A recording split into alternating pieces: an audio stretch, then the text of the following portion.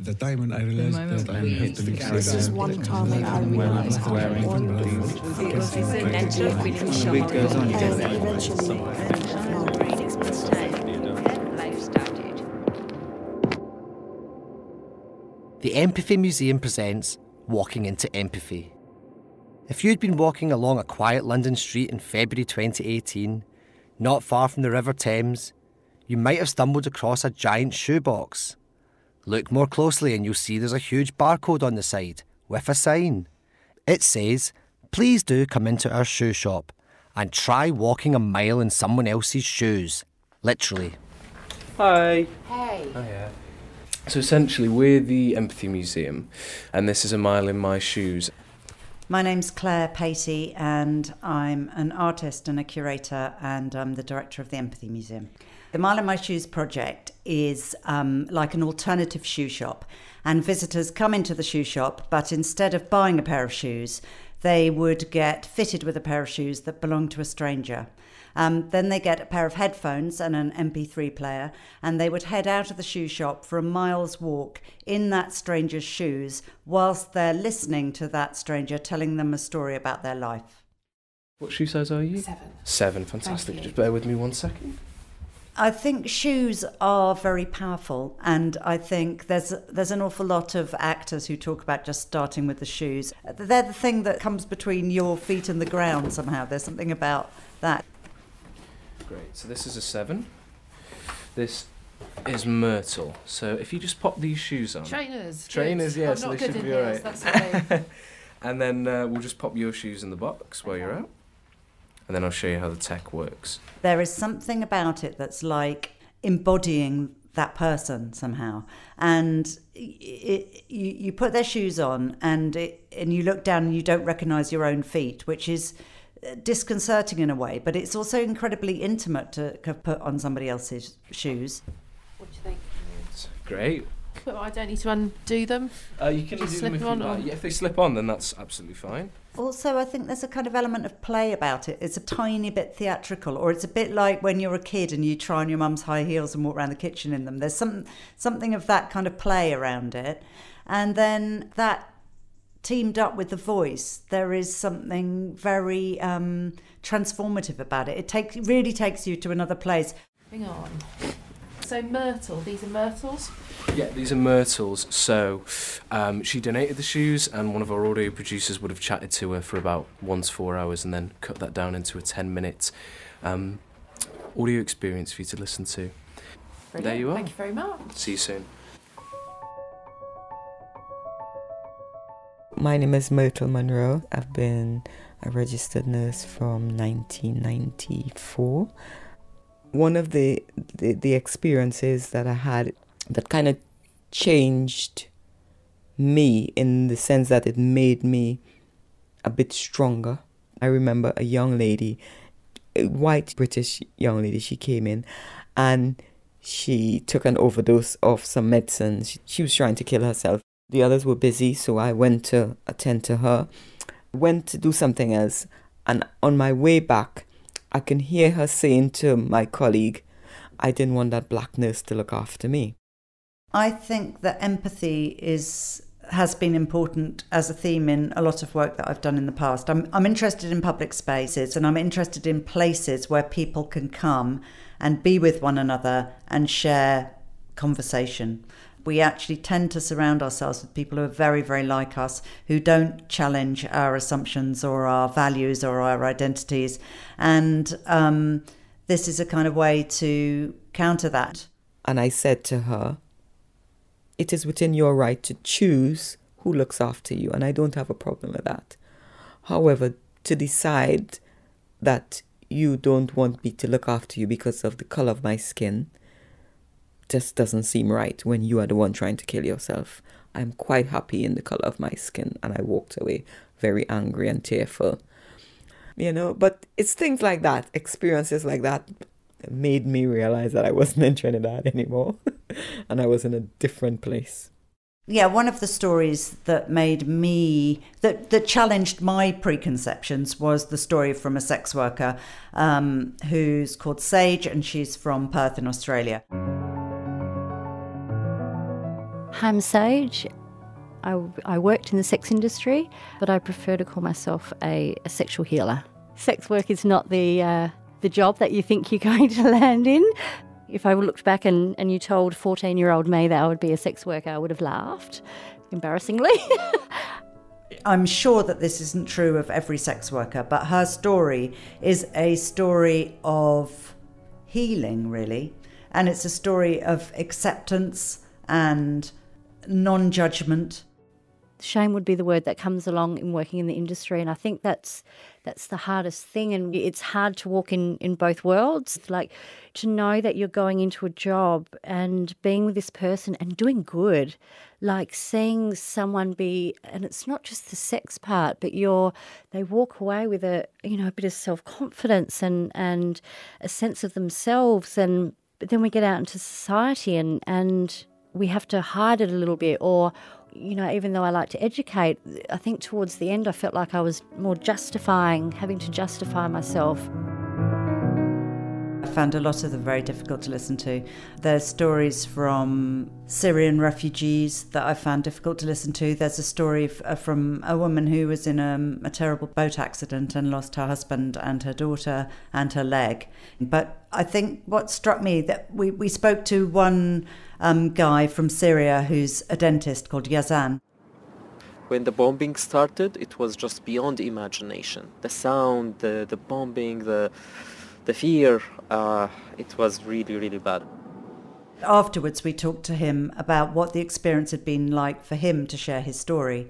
And he um, spoke really eloquently about how here he's quite often invited to tell his story, but people want to hear the story of his terrible journey or they want to talk to him about the politics of the region.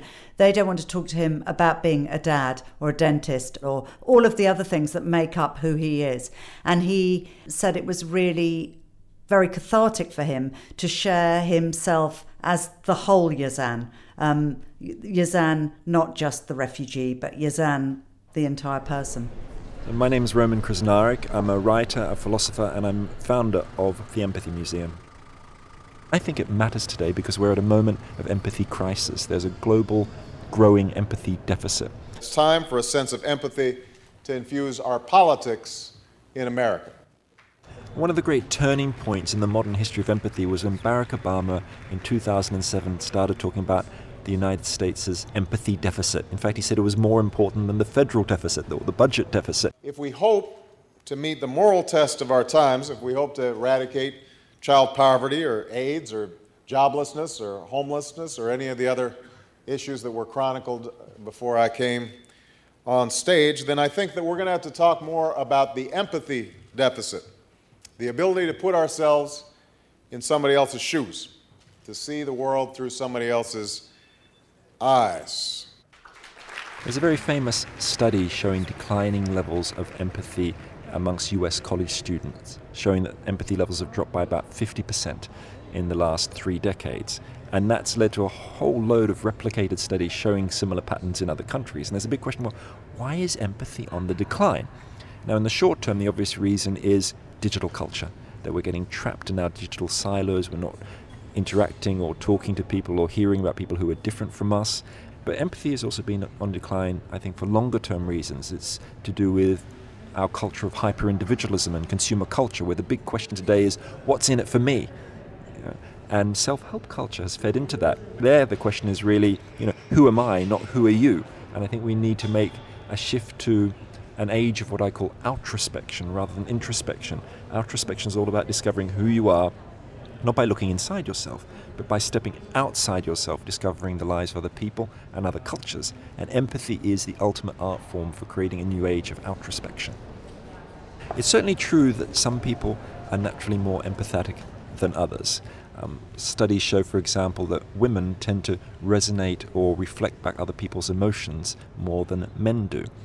It's certainly true that as you go up the hierarchy in companies, people tend to be less empathic. People become distant from those underneath them. And there's a famous statistic saying that you know, top managers are four times more likely to be sociopaths than the people lower down the hierarchy. Because, and that's really what hierarchies do to people. But over time, we can all develop our empathic brains. And for me, the real question is not who's got it and who hasn't, but what are you going to do with the empathy that you've got? You know, that's the really important question. Okay. Well, this is Dr. Patricia Moore, known to the world as Patty, the mother of empathy, um, one of the founders of the Universal Design Movement, and someone who fights with every bit of passion that she can muster for inclusivity by design. Throughout the last century, there have been what I think of as great empathic revolutionaries, people who have done extraordinary things in terms of stepping into other people's shoes and expanding empathy. And one of those people is the American designer Patricia Moore. And in the 1970s, she conducted the most extraordinary empathy experiment where she dressed herself up as an 85 year old woman trying to experience what is it like to be an older person. She put on fogged up glasses so she couldn't see and plugged up her ears. And she spent three years going around over 100 US cities, which she did at the age of 26. And out of that, she came up with extraordinary design innovations. One of them is you'll find in your kitchen when you open the drawer, you might have one of those thick rubber handled potato peelers or can openers. That's Patty Moore's invention, the OXO Good Grip, it's called. That was one of those moments in the design world where everyone stood and to attention and sat up, took notice because it was very successful. And of course, when anything is successful, people want to replicate it. But for me, the success wasn't so much the monetary success, but just the wave of, of awareness that was created every source of media, all the print and TV and even radio covered um, this wondrous little thing that we did by making it easier for someone who had trouble holding a utensil, a tool, to manage now with a properly designed offering so that they could have the dignity of design so that they could manage the the activities of their daily living and most specifically food preparation. We don't think about it when we're younger, of course, but there could come a day where even holding a fork to feed ourselves will become impossible. The answer is not the medical community, it's design. And so um, I always turn to that moment and realize what, what a wondrous thing it was. Her life and her work is a model for empathy in the workplace because what it shows is that empathy is a key to innovation when you understand someone else's life, you can do much more creative thinking. And that's why designers and architects and many people in creative fields think that empathy is so important.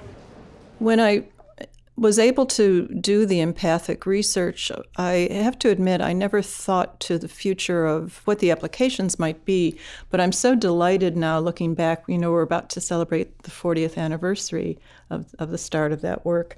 If if I've accomplished one thing in my career, I'm just delighted that it's been that forever and always designers now recognize their power uh, even their authority over the business community. And I'm pushing now into governance as well to uh, be more empathetic, to recognize our role in helping others, not designing for people, but designing with people as equals.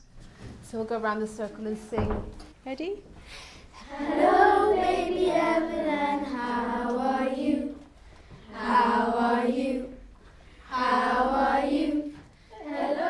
Well, the best place to learn empathy is at home, when it's modeled by your parents or your caregivers, and you see them listening to others, not interrupting them, trying to understand someone else's perspective. And you can also learn empathy in schools. And one of the world's best empathy teaching programs is called Roots of Empathy that developed in Canada. I think every child should have the right to doing programs like Roots of Empathy.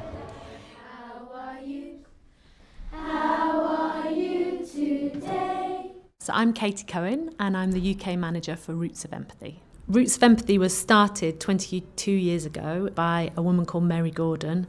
She is an educationalist, social entrepreneur.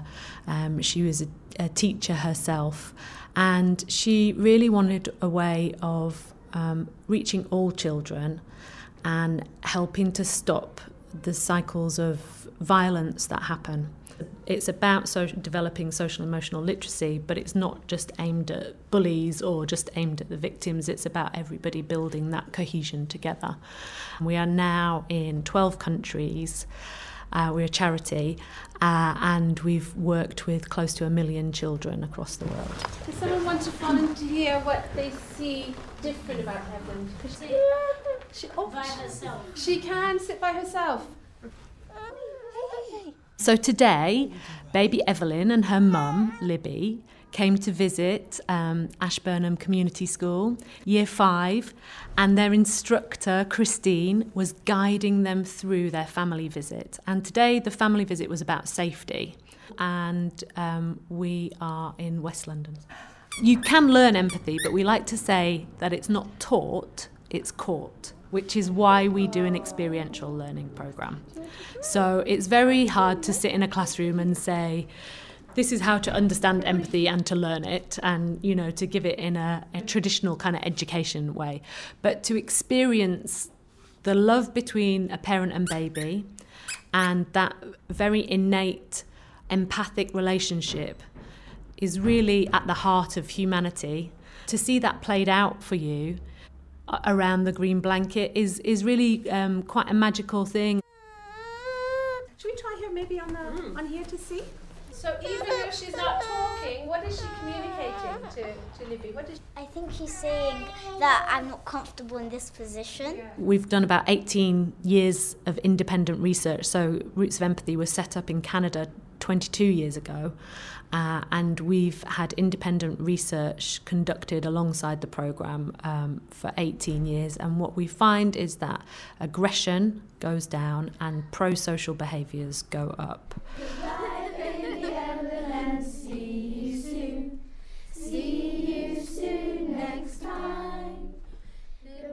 You learn how other people feel if you if you if you didn't know how other people felt, you might be really mean, and then and you might not have friends. I think it is important because, like, you you have to respect others as you want to be respected yourself, and like, if you are rude to everyone, everyone will be rude back to you, and like you'll be like, oh, they've been rude to me, but you can't do anything about it because you've done the same thing to them. We go. One of the places where you can really see empathy in action is in hospitals and in doctors' waiting rooms and doctors' offices because there people are coming along, patients are coming along, and they often have had traumatic experiences or they've had emotional experiences, physical ones, and they want someone to listen to them. And doctors need to be open to patients. My name is Sadeshna Davidson, and um, I'm a GP working in Sheffield. How are you today? I'm okay. You're all right? Yeah. I'm just struggling a little bit with pain relief at the moment. Okay. Empathy is important in a clinical setting for a lot of different reasons. Well, the main thing is because you're dealing with people. You're dealing with real people that have real lives, real emotions, real fears, and they bring that to the appointment. This is a very simple example. Um, you might see someone with what you think is quite a trivial illness, maybe you know, a short term cough or cold, but that person might be coming in and asking for a sick note. You've then got to put yourself in their position and understand things from their point of view.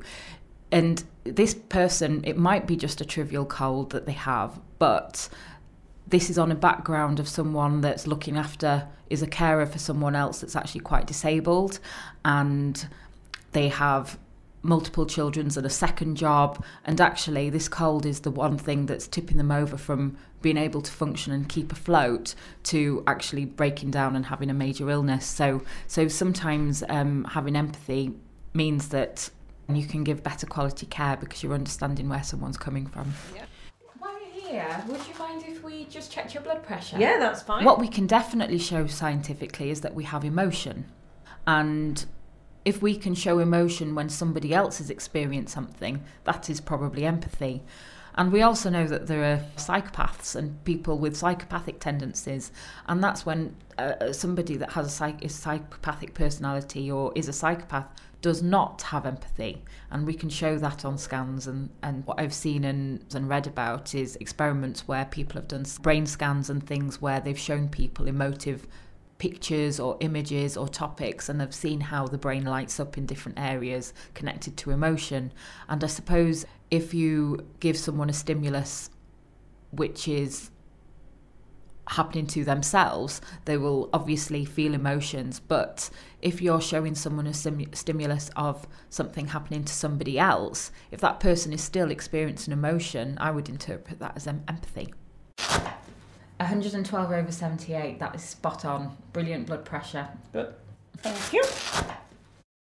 I, I did have some surprising and interesting responses to my Mile in My Shoes podcast. I'm a bit of a Twitter addict, and first of all, I have um, size 8 feet, so my feet are quite big for a woman, and the shoes that I donated was a pair of red heels. So the first time I saw um, any reference to my contribution was a picture of uh, a man in a suit wearing my red shoes, which was highly amusing. But actually, in, a, in more seriously, in addition to that, um, I did see people link to my recording saying that it was actually quite inspiring and quite a candid description of what it's like to be a GP and the rewards and the stresses um, involved with it, which I found incredibly flattering. Hey, I'm back. I don't know if I actually went a mile, but I went around the block. Um, so I can sit down and take these off. Now at 65, I, I often do have the opportunity to reflect. Have we seen improvements in 40 years? Are, are we as a people globally more empathetic? And I suppose it depends on the day and the headlines at hand. Uh, some days I'm feeling very, very positive, very much Pollyanna, very full of hope, and other days I, I, I find it hard to get out of bed, I won't lie to you. So I believe that we need an empathy revolution. And anybody interested in changing the world has to care about empathy and can't believe that could just happen through rationality. As you come in, it will look very similar to a shoe shop. So it has shelves with shoe boxes. Each shoe box has a label with the size of the shoes and the name of the person that those shoes belong to. So it might just say, these shoes belong to Gary, for instance. I will look at people now, and everyone has got a story.